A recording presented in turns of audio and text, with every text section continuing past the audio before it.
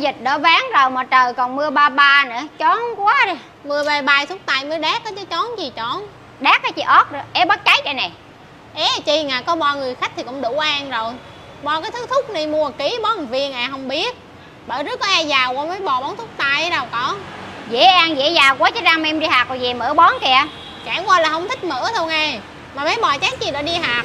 Biết đâu đi mua bàn về rồi mỡ ra cũng đây không biết mà nói như đúng rồi mà tự nhiên mới xón nhảy vô tiệm họ nói nữa thôi đó hả? Đâu có, tớ mua liều thuốc cổm. Bón liều thử thuốc cổm uống liều răng hết ít kiềm phải bo ngà mới được. Uống té tao này ra uống bo ngà mi Có thuốc gì uống liều thấy không? Không có tao đi mua chỗ khó. Có có. Thuốc chuột uống liều hết luôn. À, thuốc chuột uống liều hết luôn. Nãy giờ ta nhịn mới hung rồi đó mi nghe. Ta đến cho qua không phánh lại cho mi liều thuốc chuột liền đó. Lộn gì cản